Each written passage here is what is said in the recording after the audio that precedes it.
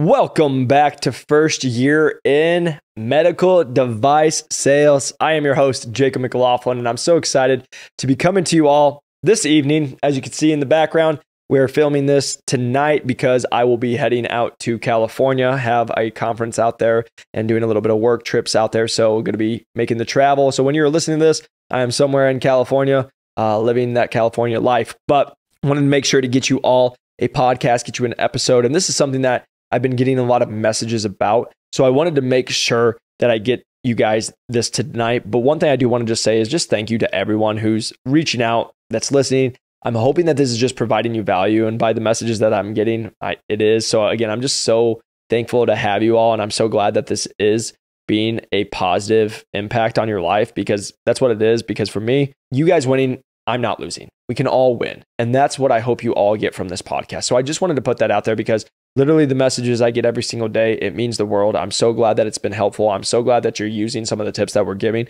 and that it's helping your territories, it's helping you progress in your career. And that's why I wanted to make this episode tonight. It's my advice to associate sales reps in medical device sales. This last week, I actually had multiple people reach out to me and they're like, hey, Jacob, this is my first week. Hey, this is my first day. Hey, I found you literally three days ago, or I just found you and I'm in my first three months of med device sales and there's just so much going on. And I think about my first three months in med device sales. Now, granted, I I was very fortunate. I came in as a full line rep right away. I skipped the associate sales rep role.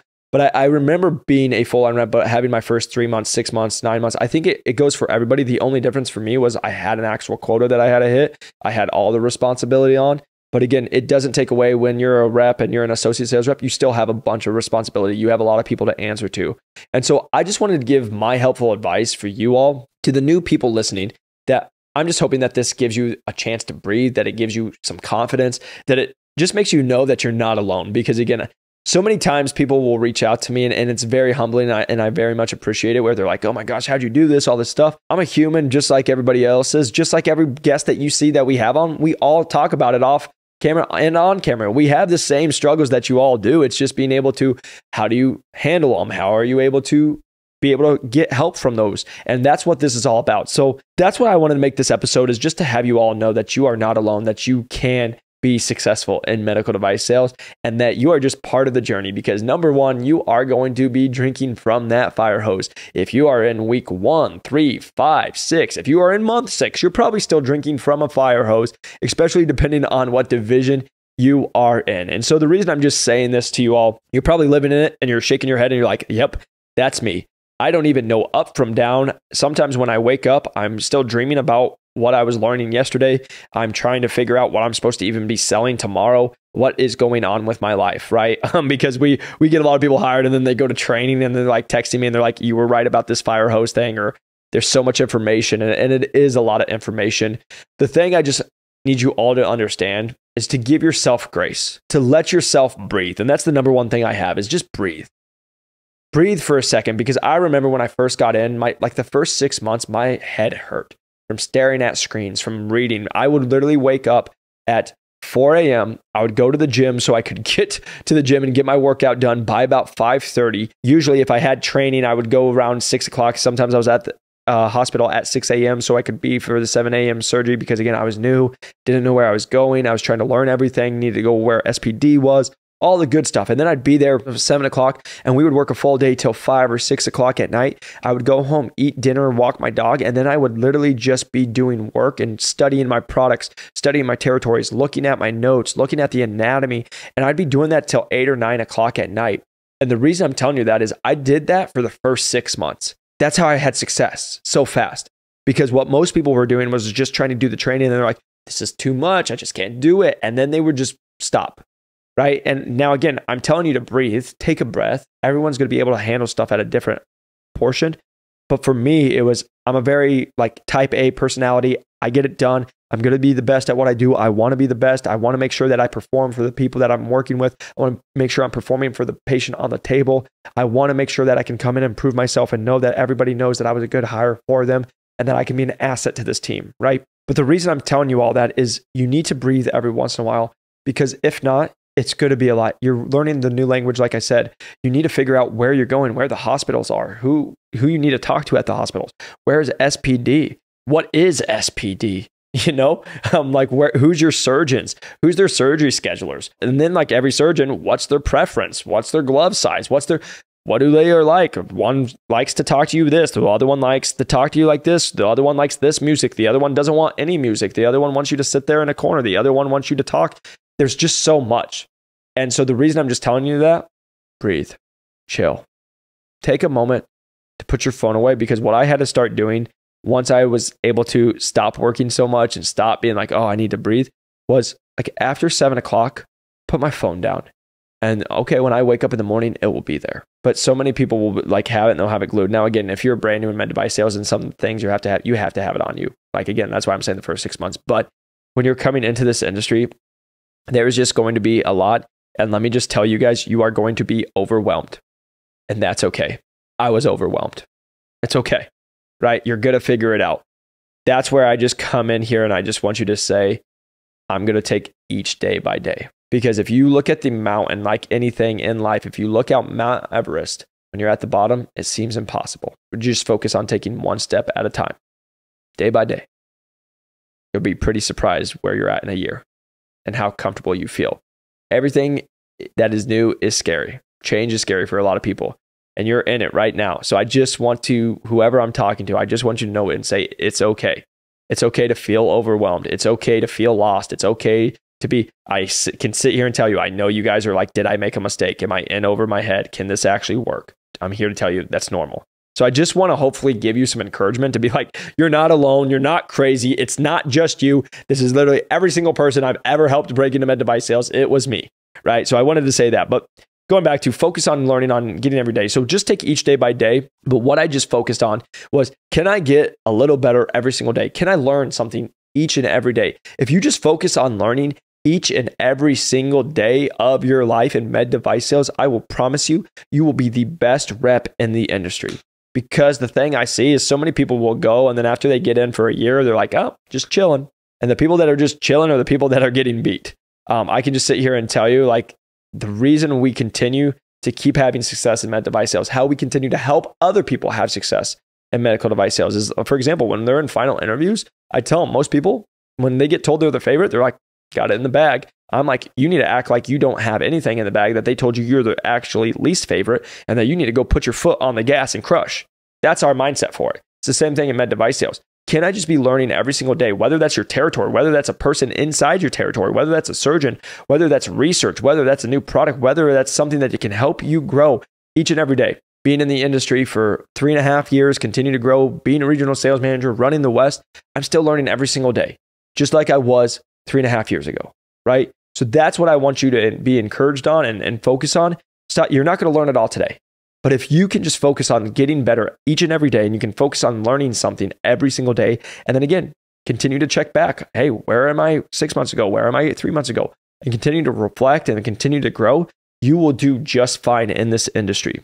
Now, number three, what I see in associates that we have a lot of success with, like again, we've had associates that we've helped go from associate sales reps to full line reps in under 12 months.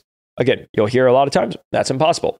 Well, it's all impossible till you do it, right? And then it's possible. So the reason I'm saying that is because if you are a self starter, if you become an asset to your team, if your TM does not have to tell you to go run certain trays. You see it on the schedule. You can actually just go do it. If you can go see what your list is that you have to do every single week because you've been in for a couple months now, and you can continue to show up and show that you're an asset, continue to be show that you can be trusted, that you don't need your hand held. You will have success and you'll be able to progress your career very quickly because that's what I see the people who struggle with is the person who gets told the same thing four times and they still don't do it. That's where territory managers and people in med device sales will have their, they will just lose it on you is because just like in surgery, if a surgeon tells you once, they expect you to write it down and remember that because they don't want to have to keep reminding you because they're trying to focus on the patient. If a manager has to tell you once, okay. If a manager has to tell you twice, you better make sure that you write it down. If a manager has to tell you a third or a fourth or a fifth time, whether that's something on a procedure, that's something on this, and you're not doing the proactive steps of trying to learn it, train it, call other reps, talk to other people, and you're not doing that, you will not last very long or you will be the reps that I've seen that have been associates for two plus years. You've been an associate for two years, two and a half years, three years. And then you apply for full line rep roles in your division that you've been there for two, two and a half, three years, and you're losing to people that aren't in your division. Why? It's not fair. No, it's because you haven't done the work. They don't trust you. I can just sit here and tell you if you've been in for two, three years and you're an associate and you're getting beat out by people that are in your division, let me just sit here and tell you if you're like, I can't move, I'm w- not willing to move, and it's only this place and you have to wait someone out, that's the only exception. But otherwise, if you've been in for three years, two and a half years, three years for an associate, you're not getting moved in and you're getting beat out by people that in your like out of your division coming into your division for full line rep roles, it is because those managers don't trust you. They don't believe that you could actually go and run a territory by yourself. And that's a thing where you have to reflect on you because going back to if you're a self starter, if you're always reflecting on yourself, if you can be like, hey, I did a lunch, did I get better? Did I do this? That's where that's never going to happen. And so going on to that is the next one is being a resource, being able to contribute to your team. Are you running trays for team members? Like, right? Your job as the associate, which is very hard for many associates to get this because I hear it all the time. Jacob, I'm just running trays and I'm just doing some lunches and I'm just case covering. And I'm like, yep, that's what your job description is. That's what you were hired to do. You literally were there to keep the existing existing business so the rep can go grow the business, aka go get new surgeons, do all the conversions, be at new cases, grow the actual business. You're there to maintain it. That's why they're paying you, right? But then what happens is I'll have associates call me and they'll be like, I've been in for six months and my territory manager doesn't even run a tray anymore. It's only me. And I'm like, Yep, that's what your job description is, right? So here's the whole thing. Do I hope that your territory managers are doing the job with you and running trays and doing the stuff? I hope so. But the reality of it is, is if they're so busy they're growing the territory, that is your job and that's what you're supposed to do. The reason I'm just saying that is not being entitled, saying, hey, this is what I'm here. I'm here to grow our territory and I'm here to be a resource to our territory. Because if you can go run those trays, if you can be proactive, you see surgeries and then you already run the trays before they even text you, they're like, man, John or Sarah or Greg or whoever it is, Shania, she's, oh, they're just crushing it. They are just on top of it. That's how you stand out. Then from there, okay, say you have a day, because I see this all the time in med device sales, especially with associates. They'll be like, oh, got done. And then TMs will be like, oh, good job, go have fun. And it's 11 o'clock. And they're like, I'm going to go home and watch Netflix. But the people we see that have a lot of success, what do they not do? They don't go home and watch Netflix. They go stay out in the field till four or five. And it's because now they're trying to go prospect. They're trying to go get their own uh, lunches and own surgeons and their own doctors. Because going back to everything we talked about, if you can do the job to get the job, it's pretty easy, right? So, for example, if you're an associate, but you're able to go get lunches set, you're able to go do lunches on your own eventually, and you're able to actually even close your own doctor and help the territory. What did you just show? You just showed you're a massive asset, and you just showed that you can do a lot what the reps do. AKA, so when you're ready for that time to go progress, hey, there you go. Now, here's my advice to your associates if you are doing that, make sure you are tracking that. Because guess what? When you go from an associate to go to be a full line rep, they're going to ask you about that. If you can say, yeah, I was able to grow our territory because of the surgeons I got by 12%, or I was able to grab a doctor where I did it all by myself with no help. I cold called them on my own and we brought them in and they do $300,000 to the business, which will be this percent lift. That's huge. So, again, just being able to show that you can do the job to get the job, that's going to be the biggest thing I can tell you is be the asset try to figure out what the reps are doing, do your job really great. And then when you get the opportunity, be a self starter. Go ask, can I go and do a lunch? Right? Because I've seen where a lot of times in some med device companies, if they have a real go getter, they'll be like, hey, this, you're an associate, we have a big bag. This product line for us is pretty much non existent. It is all yours, and you will get the percent of whatever you bring in off that. And then that's like their opportunity to be like, okay, and this happens to a lot of associates, and they'll give that opportunity, and the associate will be like, well, I'm not going to sell it anyway. So they just don't. And then again, going back to it doesn't show that you're a self starter on the team compared to the ones we've seen that have progressed to full line reps very quickly. They're like, oh, this is great. They go and schedule lunches. And then the first two months, they got somebody. And they're like, that was somebody who had they had no business for, but they gave you the opportunity and you went and capitalized. Why? Because you're a self starter. Why? Because you went and did a lunch, even though you didn't know how to do a lunch and you went and figured it out, right? And it's all trial and error and taking time and learning this stuff. But that's what I can sit here and tell you. If you want to have success in medical device sales, if you want to continue to grow your career and be successful in this industry, you got to be a self starter. You got to be proactive. You got to figure out what the job is, and then you got to go do the job. The last thing I will say on that piece is from an associate, we've had conversations with some associates where territory managers will try to dictate and be like, no, you can't do that. I won't allow that. I don't want that. The whole conversation is what I can sit here and tell you is I've watched this happen. And I've personally helped coach people through this specific sp- situation is when they have a very bad territory manager who doesn't perform or is lazy or whatever it is, and they are an associate who's a self starter, a go getter. They want to get the most out of it. Now, the territory manager either doesn't want to watch them perform or they get intimidated and they'll be like, no, don't do any of this. And, like, for example, that's the conversation of where the associate might be having to have a conversation with the RM and being like, hey, I'm trying to do this, but they're telling me not to. And that's the job of the regional or the district manager to be able to be like, okay, no, I don't think you should do this, or hey, I think it, this should. I, maybe we should have a conversation together. Sometimes that can be uncomfortable. Sometimes that can be like, oh, this rep's not performing. But this is going back to everything I teach and what, why we do what we do and why we have our podcast and why we're doing it. There's a lot of people in med device sales, and it's what I, I just had a talk with a, a guy today about it. There's a lot of people in med device sales. Guess what? There's not a lot of top 10 performers in med device sales. Why? There's only 10 of them in each company each year. That's not the majority of the reps. The reason I just said that, that's who you hopefully learn from. It's what we've been able to do. It's what I've been able to do. It's why I make these podcasts for you all and try to do what I've been able to have success and being able to teach other people how to success. And we do this every single day. But the reason I'm just telling you, yeah, there's a lot of managers, there's a lot of TMs, there's a lot of people in med device sales that are just average in this industry. And that's is what it is. And a lot of times people, I can sit here and tell you because I've lived it my whole life since being in this industry. I still get DMs to my LinkedIn this day, like of people being like, you need to stop doing this, or you can't do this, or they get intimidated and then they try to tell you what you can't do. They try to put you down, they try to put you in a box, and you just can't listen. It goes back to what we always say one of my favorite lines, I'm going to say it almost every podcast, probably for the rest of my life, is Eagles don't fly with pigeons. If you are trying to make an impact in this industry, if you are trying to go and make an impact in your life, in your own life, guess what? There are going to be people who don't like it because I can sit here and tell you, even though we've had success and even though we are able to show it and we put it all out for free, I still have people on a weekly basis tell me why I suck, why I'm not good at what I do, all the best, and all the stuff that's in med device sales. And my hilarious point is, majority of the time, it's people that have been in med device sales for 10 plus years that I have the same job title or I'm above and that they're giving me the slack. And the reason I'm just saying that, that's going to wa- have somebody watch this and they're going to be offended. They're going to be like, this guy, he's a jerk or whatever it is. And I can just sit here and tell you, I hear it every single day because people get intimidated by people who are hungrier than them, that are willing to outperform and that are willing to work more than them. That may be due to your job and where your family is in your life and all that stuff. But what I was sitting here and tell you, there's a lot of excuses with people. And what I'll sit here and tell you, if you are a person watching this podcast, you're this far into this podcast, you're probably not a person who's just like, I just want to sit and see what happens with my life. You're probably a type A personality who's like, I'm going to make the life that I want to have happen. I'm not going to sit here and wait for results. I'm going to go get the results. And I can sit here and tell you there's a lot of people in med device sales that are the exact opposite. Everyone always asks me, How do you have success? How have you been so successful? Because I didn't wait. I didn't stop. I still checked my phone like I told you guys when I had to. I didn't go, oh, you know what? Got a message at 5 p.m.